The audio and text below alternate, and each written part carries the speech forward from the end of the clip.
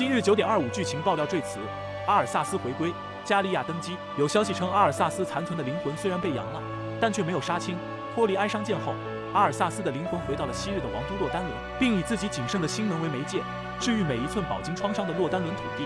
最终，阿尔萨斯精尽人亡，与洛丹伦融为一体。临死前说了一句：“当我们的现实被重铸，我献出了自己全部的心能。”看，洛丹伦觉醒了。而九点二五测试服的两张全新的加密地图，正好从侧面证实了阿尔萨斯进化洛丹伦的真实性。在九点二五测试服中，新添加两张加密地图，分别是提瑞斯法林地和洛丹伦之战的场景战役地图。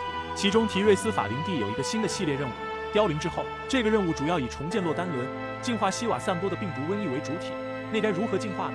这就可以将阿尔萨斯进化洛丹伦的剧情添加进来了。而加利亚米奈希尔作为洛丹伦王国唯一合法继承人，在洛丹伦被净化后，经历利安辅佐加冕为王，获得一个传新模型，带领被遗忘者重新入主洛丹伦。